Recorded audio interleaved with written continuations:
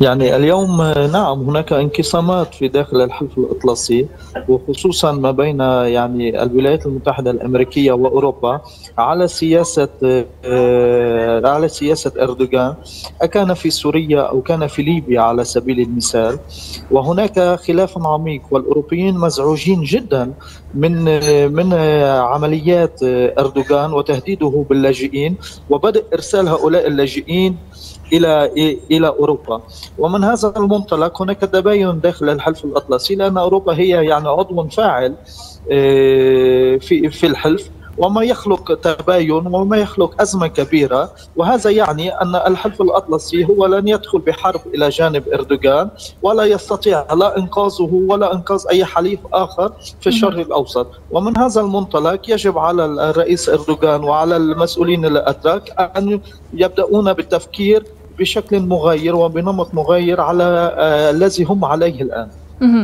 يعني فيما يتعلق بمواقف الناتو تحديدا أستاذ أنطوان يعني أنقرة بالأمس واجهت فيتو يوناني آه، لاستصدار آه، بيان آه، من قبل الناتو دعم لها، هل فقدت بذلك ورقة لطالما كانت تلوح بها في السابق وتحاول الاستثمار فيها ألا وهي في حال تأزمت العلاقة مع روسيا في إدلب ألا وهي دعم شركاء الناتو لموقفها في تلك المنطقة؟ عفوا لم أسمع القسم الثاني من السؤال.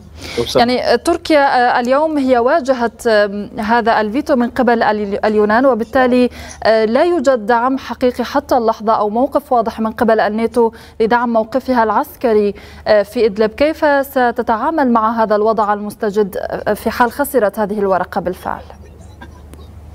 يعني اليوم اليوم ليس هناك دعم من الناتو ولنفهم ماذا لماذا الفيتو اليوناني مثلا. ما هي اليونان هي ضد سياسة أردوغان وهي لا يناسبها ما يحصل الآن. آه، وهي يعني لنفهم أيضا موقفها يجب علينا أن نعود إلى تصاريح الرئيس الفرنسي الأخيرة آه، عن ليبيا وعن سوريا وعن العمليات التركية في الشمال السوري. ونعود إلى الاتفاقات التي تبرم الاتفاقات الأمنية التي تبرم ما بين فرنسا على سبيل المثال واليونان. واليونان هي الخط الأول الذي آه، من خلاله أوروبا تحاول استيعاب نزوح اللاجئين إن حصل فعليا. آه، وهو الآن ليس حاصل بشكل كما كما يعني يهدد به إردوغان.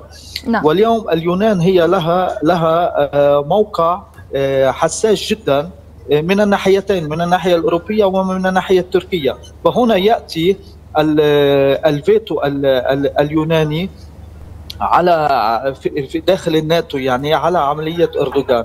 نعم. آه، واليوم آه، إردوغان لا يستطيع الاستثمار في هذا في هذه العملية لأن آه، اليونان كأوروبا وضعوا مراكز لاستيعاب النازحين الذين لم يستطيعوا بشكل بسهولة يعني أو كما كان في السابق العبور على إلى أوروبا. ومن هذا المنطلق هم هناك احتمال أن يرجعون إلى تركيا. وممكن أن هناك بعض اللاجئين الموجودين بأوروبا أن تبعثهم أوروبا أيضا إلى تركيا ما سيخلق أزمة داخلية تركيا ويكون له تداعيات سلبية على المستقبل السياسي لتركيا وللرئيس إردوغان.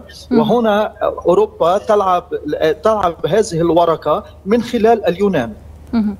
نعم أنا أشكرك جزيل الشكر الكاتب والباحث السياسي أنطوان شاربتني حدثنا مباشرة من باريس.